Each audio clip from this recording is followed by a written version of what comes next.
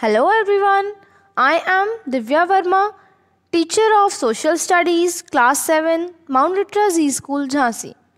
So, students, today we will be talking about the chapter Markets Around Us of Civics, Class 7.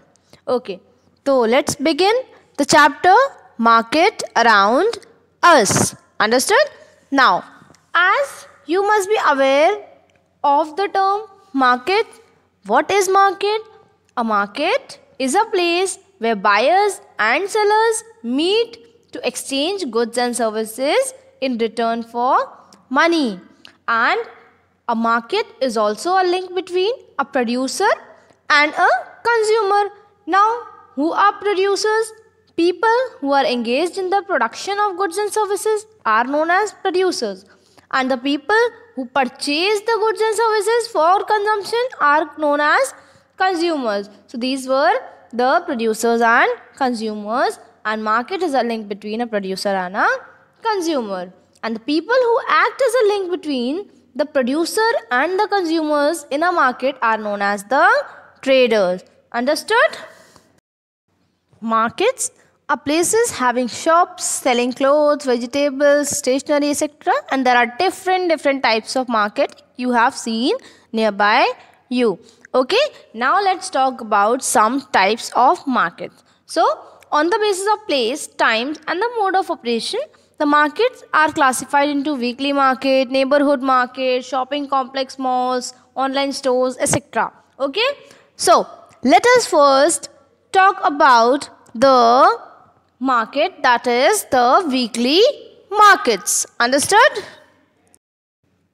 So, weekly markets are held once in a week. They are held in a particular area on any one of the weekdays. Like you must have also seen a weekly market nearby your area. These markets can be seen especially in small towns and in big villages by makeshift shops. They sell goods of daily use such as clothes, vegetables, utensils, plastic items, etc. at much lower price than that in the big shops. And the sellers move to another weekly market the next day. Thus, they keep on moving from one week weekly market to another to sell their goods. That's why they are known as the weekly markets. Okay. Now, the another type of market can be the neighborhood market. Now, neighborhood market, here are shops in the local residential areas. These neighborhood shops are useful in many ways, such as we get grocery items, milk, eggs, bread, shampoo, soaps, etc. etc. from the nearby shops. Usually, the shopkeepers know the local people. They also sell their goods on credit. Understood? So these were the neighborhood shops that sells some items which we use in daily life also. Okay, so this is the neighborhood market. You all must be having a neighborhood shop nearby your house also. So, those all are the neighborhood shops. Now, the another type of market can be the supermarket and malls. So, Supermarket and malls or super complex are usually big air conditioned shopping centers. There are shops that sells a variety of goods and services. In a shopping mall or a supermarket, one can get almost all things under one roof only. Supermarkets and shopping malls have become popular shopping places in cities due to availability of all goods at one place. One can buy all the things like provisions, uh, vegetables, clothes, books, etc. from the same complex only. And these supermarkets also allow the consumer to choose or pick goods on their own. This makes the consumer feel that they have picked up the right thing. And these shopping malls also provide entertainment facilities, parking facilities, and restaurant facilities, everything. Okay, so these are the uh, supermarkets and malls. Now, the another type of market are the online stores or online shopping. Now, online shopping has become popular in buying goods nowadays.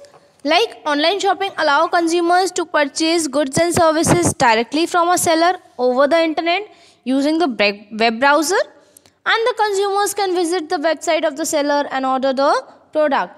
They can also pay the, for the product by using a debit card, that is a card, plastic card allowing the holder to transfer money electronically from the bank account while purchasing something, or a credit card, which is a plastic card issued by a bank allowing the holder to purchase goods or services on credit. This way, and the consumer can make payments through internet banking that allow online transfer of money from the buyer's account to the seller's account. These facilities are provided on online shopping.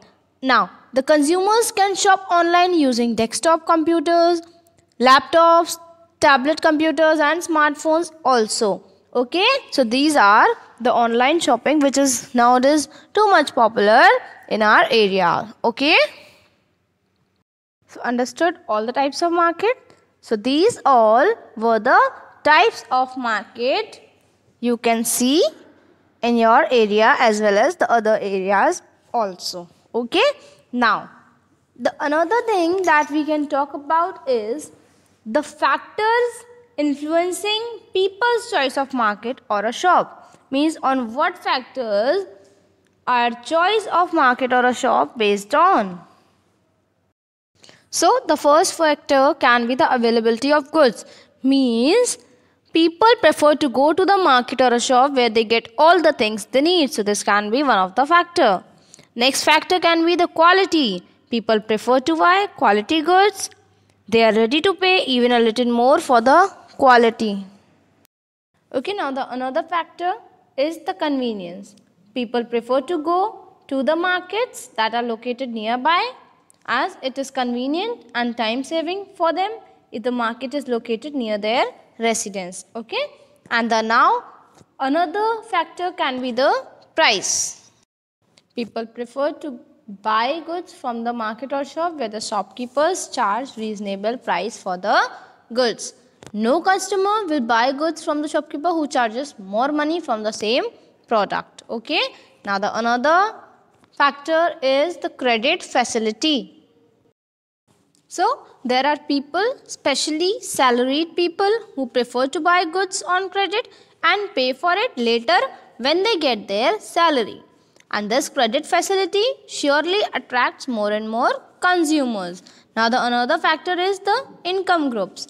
Now, there are people in the society who belong to high, middle, and low income groups their purchasing capacity varies as per their income. If a shopkeeper keeps goods of all varieties like cheap as well as costly, she or he is likely to attract more consumers. So these all were the factors influencing people's choice of a market or a shop. Okay. Now let's move to another topic of the chapter that is the chain of a market as there are different traders like wholesalers, retailers, etc. These comes in a chain of a market. Like we can see that first there is a manufacturer who manufacture the goods. Then these manufacturers sell it to the wholesalers and then these wholesalers provide the goods to the retailers and these retailers come to the contact with the customers and sell it directly to the customers. Okay, so this is a chain of a market. Now, let us know about a chain of a market topic that is a wholesale. Wholesalers कौन होते हैं? So, wholesalers are people who are engaged in a wholesale trade are known as wholesalers and wholesale trade refers to buying and storing and selling goods in large quantities and providing it to the retailers means the wholesalers buy goods in large quantities from the manufacturers and sell them to the retailers. The wholesalers act as a link between the producer and the retailer. Now who are retailer? I will be telling you after this wholesaler. So the wholesalers main function is buying and storing and supplying goods to the retailers.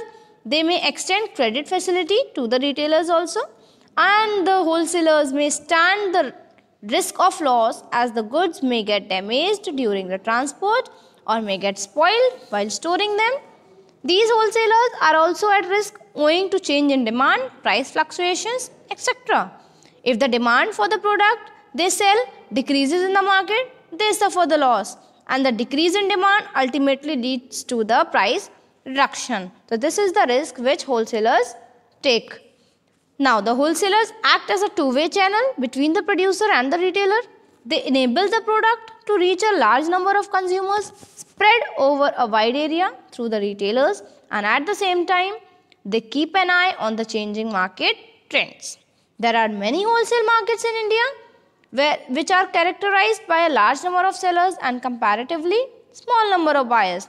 As a result, price of the goods fluctuate to a greater extent. Okay, so these were the wholesalers. Okay, let us know about the people who are retailers. So retailers buy goods from the wholesalers and sell them to the consumers.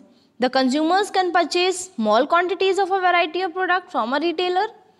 These retailer identify the products that the consumer require, communicate the same to the suppliers and make these goods available to the consumers as per their demand. The suppliers are able to reach the consumers or build the demand for their product mostly through the retailers. They can also get feedback about their product from the consumer through retailers. Now here the customer satisfaction is very important for the retailers as it ensures maximum sale of products that fetches more profit to the retailers. These retailers have to pay attention to the interior decoration of their shop also to attract the consumers. They have to display the goods also in such a manner that it provides easy access to the consumers. Retailers display their product in an attractive manner in order to ensure that it brings more consumers to the shop. Window display is one such method. It is used by the retailers to draw more and more people to their shops.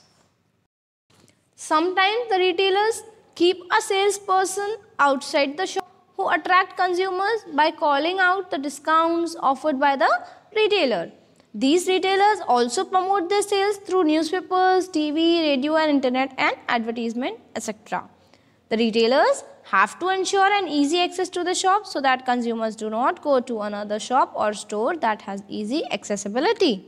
For example, sometimes it is difficult to reach a particular shop due to the vehicle parked in front of it or the vendor making it difficult to find a way to go to the shop. So the retailers provide certain facilities such as home delivery also, credit, after sale services, etc. to increase and retain their consumers. So this is all about the retailers. So retailer and the wholesaler are the important people who act in the chain of a market.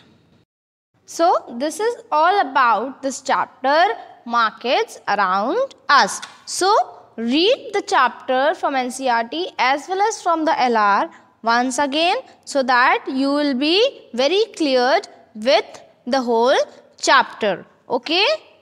Thank you students.